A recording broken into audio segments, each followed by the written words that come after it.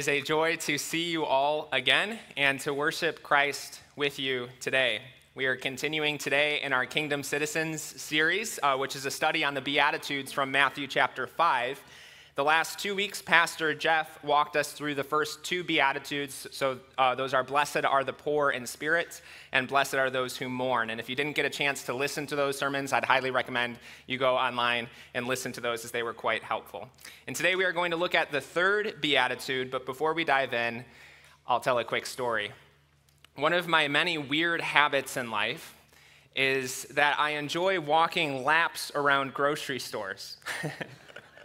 I'm a big walker, and so whenever the weather isn't great or whenever it's just winter in Illinois, uh, I love finding the biggest grocery store or mall nearby and uh, just getting some steps in. and I'll often turn on a podcast or I'll listen to a sermon or I'll even do a prayer walk. So if you see me around the perimeter of the stores just mumbling to myself, you know what's going on. Um, or I'll invite a friend to come walk and talk with me. And it's great because it is literally a giant indoor track stocked with drinks and bathrooms and everything you could ever need. And the best thing of all is that it is completely free, no membership required, except at Costco. anyway, a few weeks ago, I was walking around a certain store not nearby here, so don't worry, and a shopper stopped me and asked, are you buying something or are you just walking around? and I had a huge smile on my face because I figured she was just being friendly. so I said, Oh, I'm just walking around. and in response, she did not smile at all. but instead, she said, with what felt to be an accusatory tone a little bit, she goes, So you're not even going to buy anything? And for a half second, I felt my smile start to fade a little bit as I was like, uh oh, is she? Is she like upset with me? But then I was like, no, no, no, no way. So I smiled up again and I said, nope, you know, just trying to get some steps in on a rainy day, something like that. And then she let out, I think, the most emphatic scowl I may have ever heard. she goes, oh, and then she pushes her cart and walks away. And I just stood there for a second, uh, kind of shocked at. Um, what I felt to be a, a little bit of a rude interaction. Um, unfortunately, I was, I was able to laugh it off, but I won't lie, for the next few days, there were moments where I thought back to that interaction.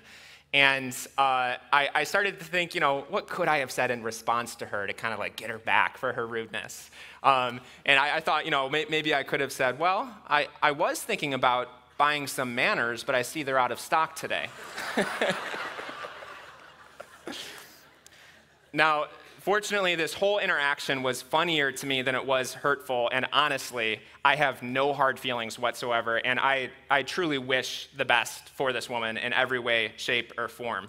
Um, and I am a weirdo for walking laps around grocery stores, so I don't, I don't blame her in that sense. But let me ask you where do those temptations for revenge come from when we feel like we have been wronged in some way? Where do those temptations to repay evil for evil and get back at someone come from? Perhaps we could define revenge like this Revenge is the sinful and always futile attempt to make the earth right again by repaying evil for evil. Revenge is the sinful and always futile attempt to make the earth right again by repaying evil for evil. Some people even call this settling the scores, right? Balancing the scales, getting them back for what they've done. Of course, revenge, ironically, never makes the earth right again. It actually always makes things worse. But notice that beneath every vengeful effort is a longing for justice, a longing for the earth to be made right again. And today's text shows us that there is hope, praise God, for the earth to be made right again, but it won't come through our vengeful efforts.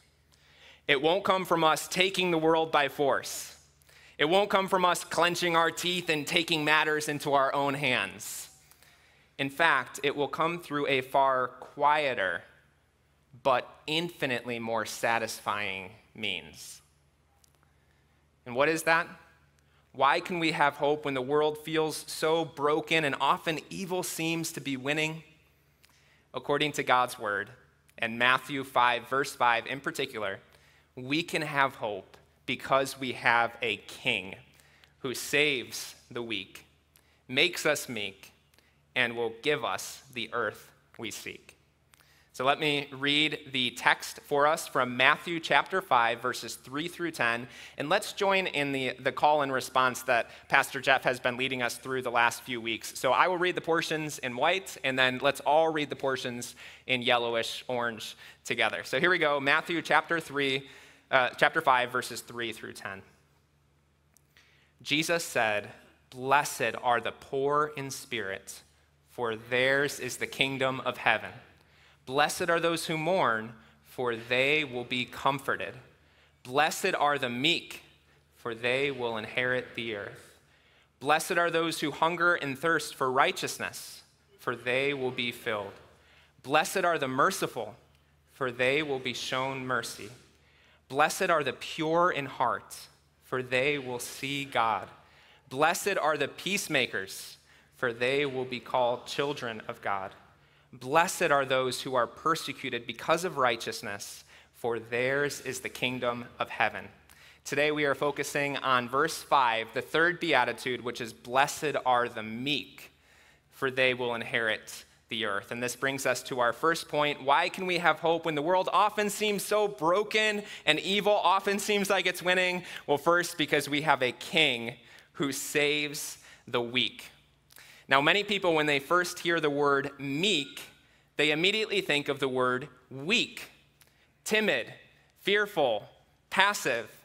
But biblically, this is not the case, and we'll look at some biblical examples of meekness today. But one of the best pictures of meekness and how it differs from weakness comes in a book called Humilitas, written by some random guy named John Dickson.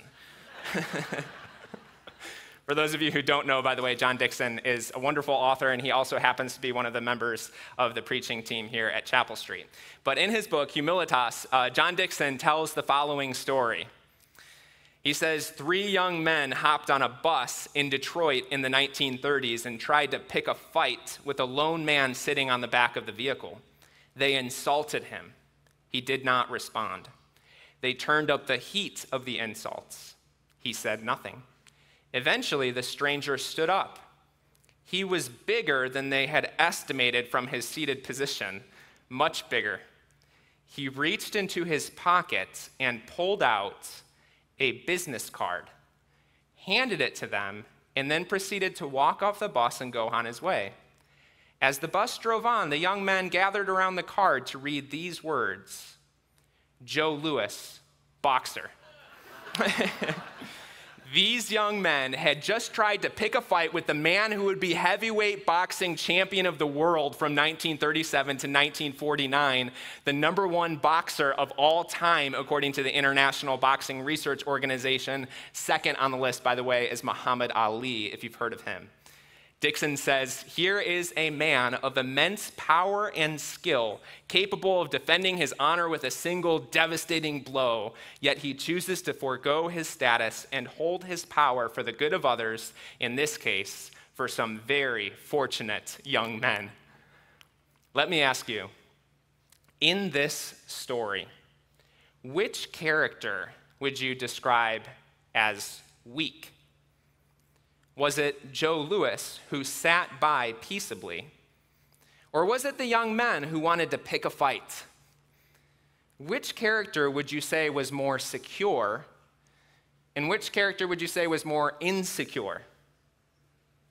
Did the young men's desire to gang up and mock this man, did that demonstrate strength or weakness?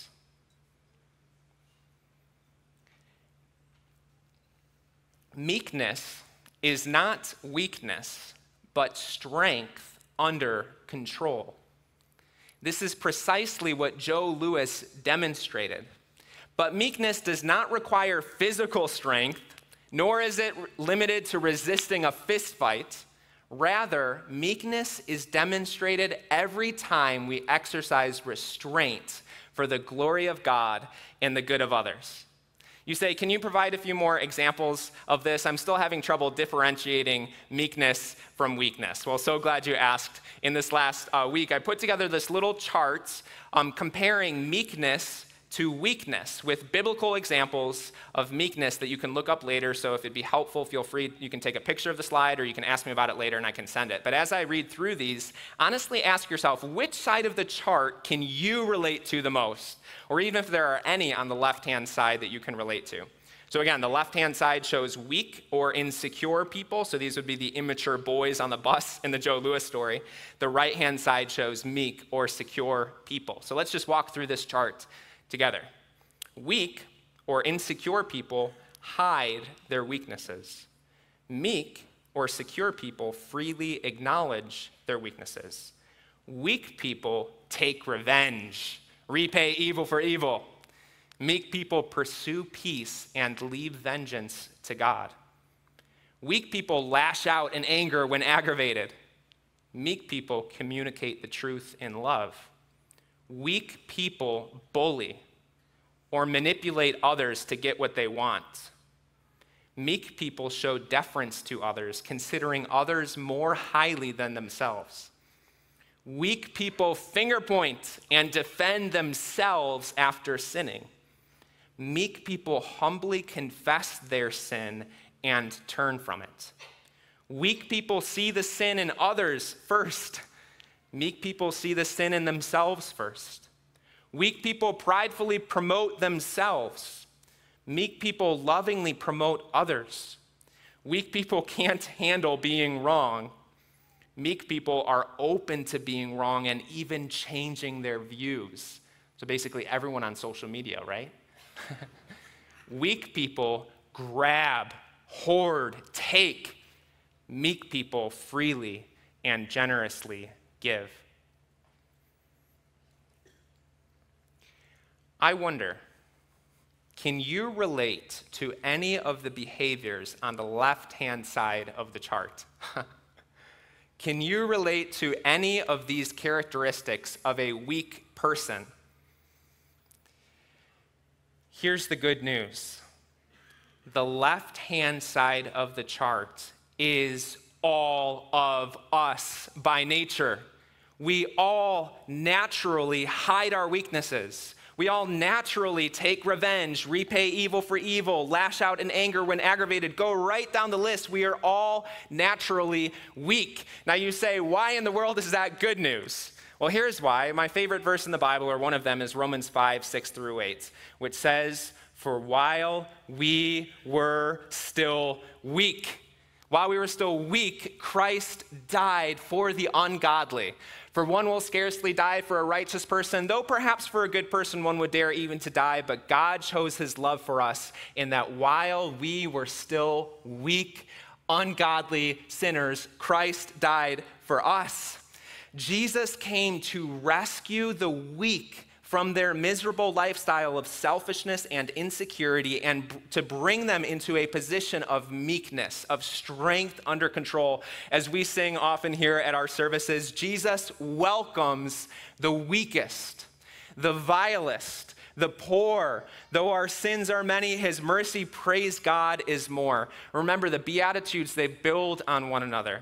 And if you are poor in spirit enough to recognize your own weakness, and if you mourn and repent of the selfishness that we all have by nature, looking to Jesus for mercy, you are on the very doorstep of meekness and blessing. Jesus does not only want to forgive us for our sin, but he also wants to free us from our sin. He wants to transform us from weakness to meekness. So, how exactly does this happen? How does Jesus make us meek? Well, this brings us to our second point this morning. Why can we have hope when the world often feels so broken and evil often seems like it's winning? Well, first, because Jesus saves the weak, praise God. But secondly, because Jesus makes us meek. Now, how do we become meek? I am convinced that there is only one way that true biblical meekness is produced in our hearts, and it's this. How do we become meek? we become meek, and this is up on the screen, by turning our eyes upon Jesus, the one who is both lion and lamb, and we'll look at that in a minute, the perfect embodiment of meekness or strength under control.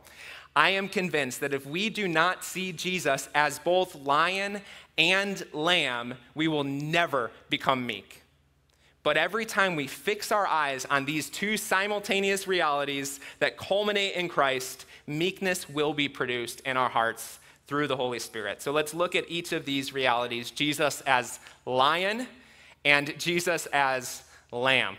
So, first, Jesus as lion. When Jesus says, Blessed are the meek, for they will inherit the earth. He is quoting Psalm 37. Psalm 37. And this, in this psalm, we learn a lot about how meekness is produced, uh, is produced in us. So let me ask you what keeps us from lashing out when someone sins against us? What keeps us from repaying evil for evil in a broken world? What frees us, as Pastor Jeff preached on a couple weeks ago, to go from closed fists, ready to fight, to open hands, ready to surrender to Jesus and give freely to others? Well, first, we must see Jesus as the lion who will bring perfect justice and will not allow any evil to go unpunished. I'm going to read the first half of Psalm 37 now. And as I read this, ask yourself how do the promises in this passage give us hope and free us from the silliness of repaying evil for evil? Let me walk through Psalm 37 now. It says, Do not fret because of those who are evil, or be envious of those who do wrong, for like the grass, they will soon wither, like the green plants, they will soon die away. Trust in the Lord and do good. We'll skip to verse 5. Commit your way to the Lord, trust in him, and he will do this.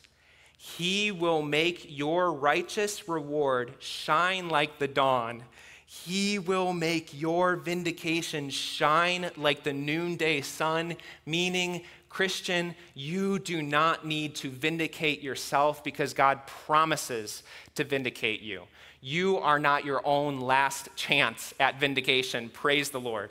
Verse 7 Be still before the Lord, wait patiently for him. Do not fret when people succeed in their ways, when they carry out their wicked schemes. Refrain from anger and turn away from wrath. Do not fret, it leads only to evil. For those who are evil will be destroyed, but those who hope in the Lord will inherit the land. A little while, and the wicked will be no more. Though you look for them, they will not be found. Now, notice this here it is. But the meek will inherit the land and enjoy peace and prosperity.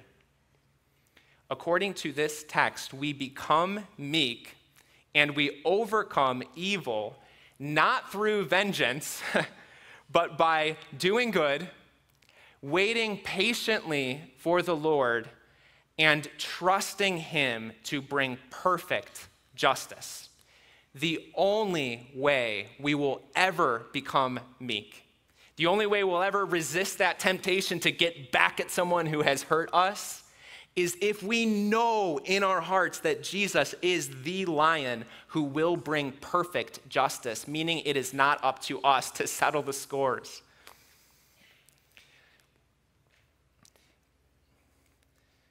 Beloved, never avenge yourselves, but leave it to the wrath of God. For it is written, Vengeance is mine, I will repay, says the Lord. To the contrary, if your enemy is hungry, feed him. If he is thirsty, give him something to drink. For by so doing, you will heap burning coals on his head. Do not be overcome by evil, but overcome evil with good. Romans 12, verses 19 through 21. How do we become meek? First, we must see Jesus as the lion who will bring perfect justice, which frees us from vengefulness. Before we move on to Jesus as Lamb, I do want to make one disclaimer. I want to be crystal clear that when Jesus calls us to meekness, and when he calls us to trust that he will bring perfect justice, he's not calling us to remain in abusive relationships or never report a crime. Sometimes the way to act meekly is to have the courage to remove ourselves from abusive situations or to pursue justice for the sake of love. This is key. Meekness is not opposed to justice. Meekness is opposed to revenge.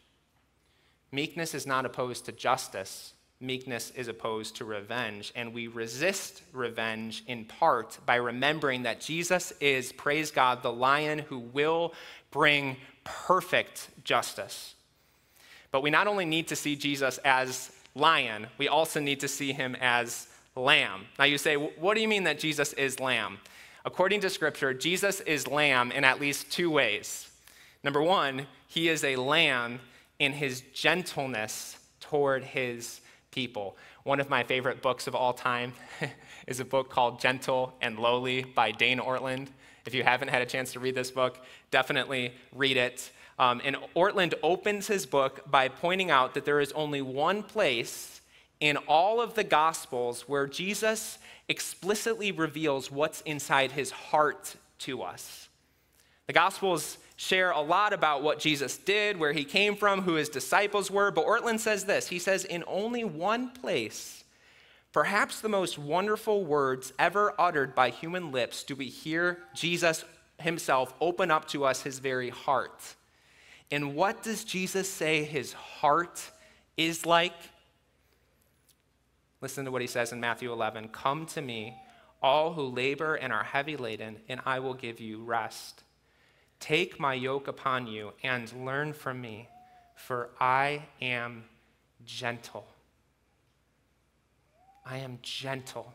That word gentle is the exact same word as meek in the Greek, the exact word that Jesus uses in Matthew 5 5. Jesus says, I am gentle or meek and lowly in heart, and in me you will find rest for your souls.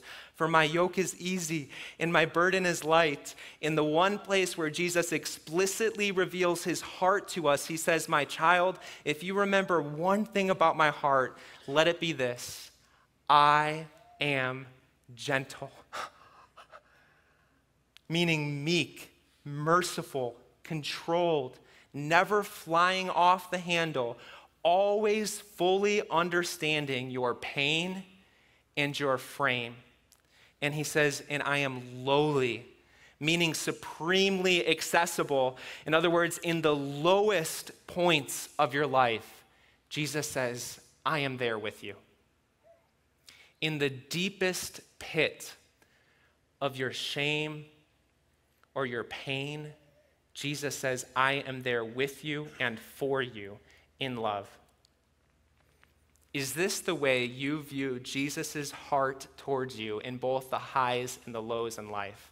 I'm not going to lie, guys. I, this is something I desperately need as a stumbling, bumbling Christian, doing my best to pursue the Lord. I need to know that I have a Savior who is gentle and lowly in heart. And praise God, Jesus is. So Jesus is lamb in two ways. First, he is a lamb in his gentleness toward his people. Second, he is the slain lamb, which we sung about earlier, who died for the sins of his people. John 1:29 says that Jesus is the lamb of God who takes away the sins of the world. Praise the Lord.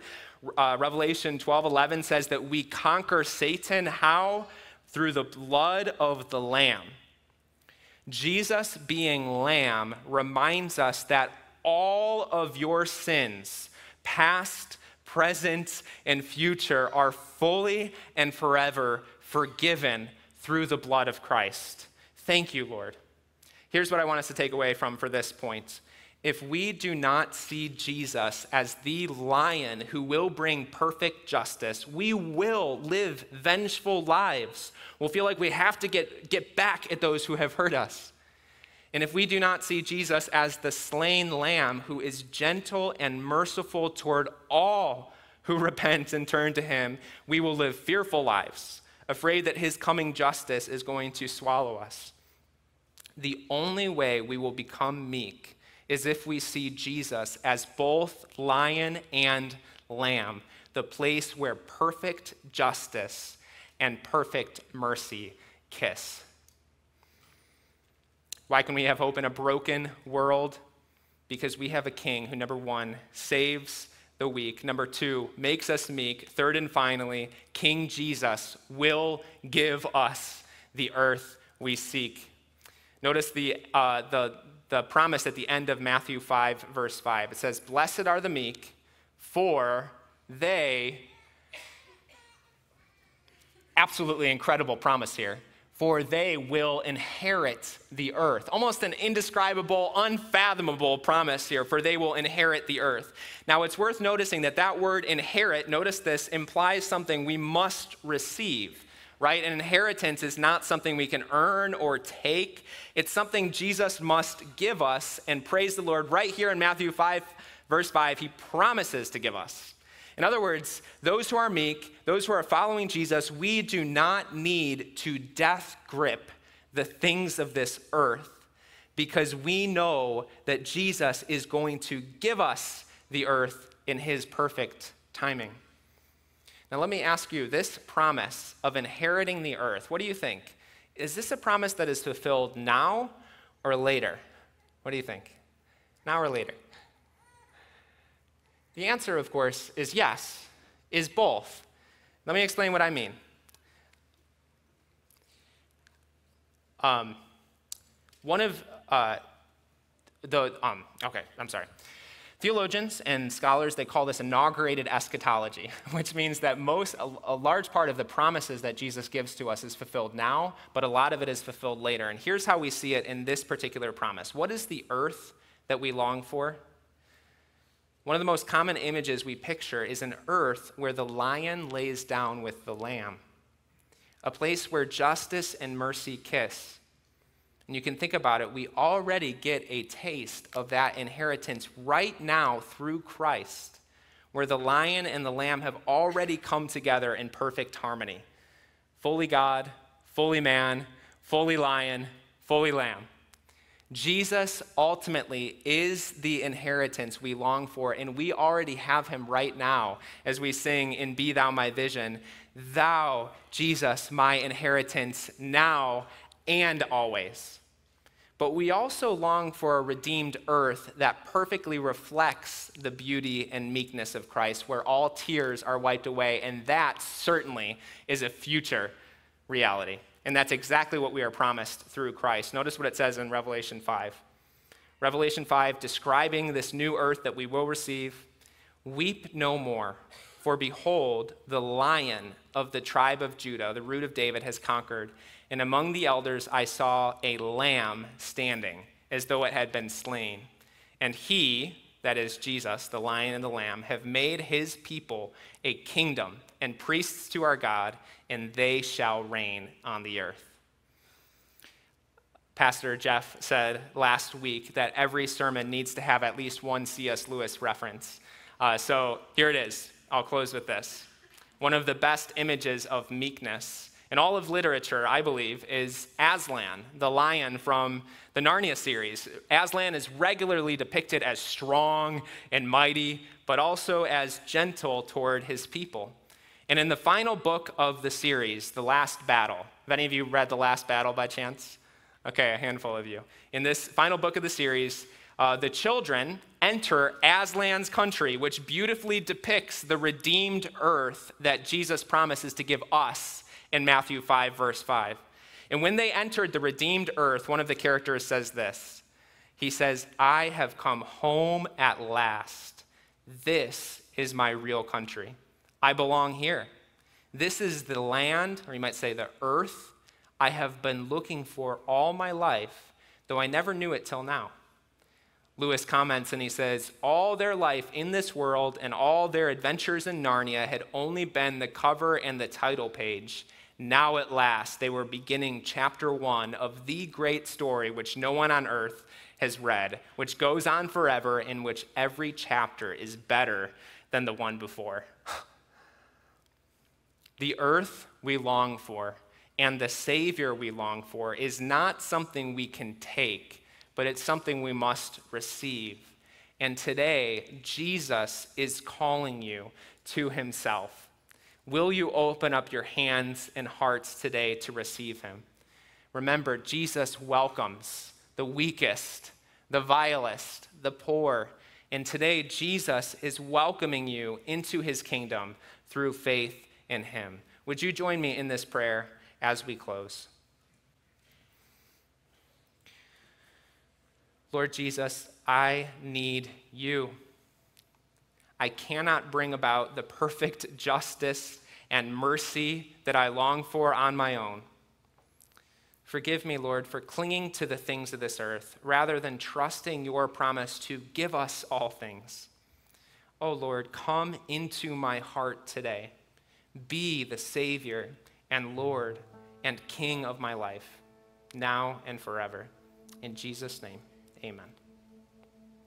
The greatest act of meekness in human history was when Jesus went to the cross for us. Uh, Philippians 2 says that Jesus did not count equality with God something to be grasped, but he emptied himself, taking the form of a servant, and he humbled himself to the point of death, even death on a cross. And on that cross, Jesus took our sin, which had left a crimson stain on our hands and hearts, and he washed it white as snow. Praise the Lord.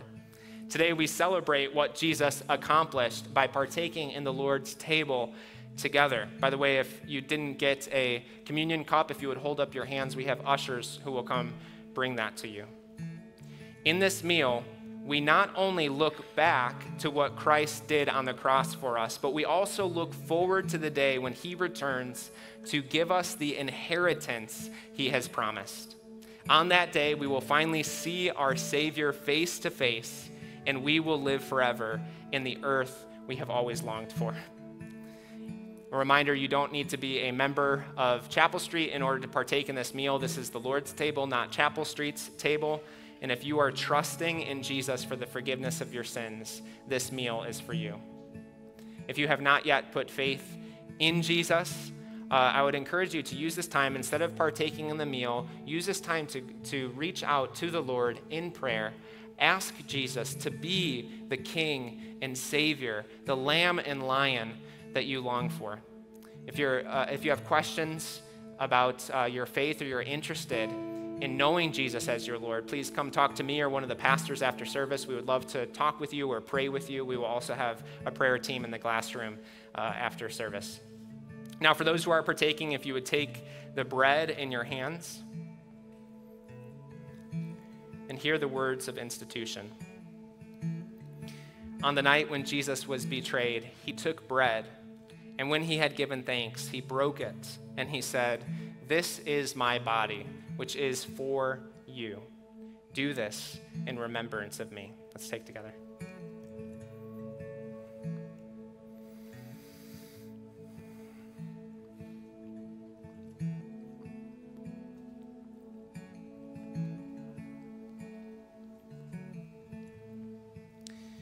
In the same way, also, Jesus took the cup after supper, saying, This cup is the new covenant in my blood. Do this as often as you drink it in remembrance of me. Let's drink together.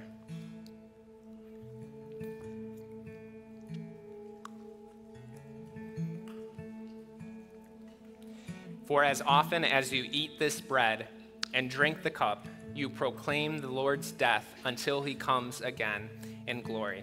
Amen.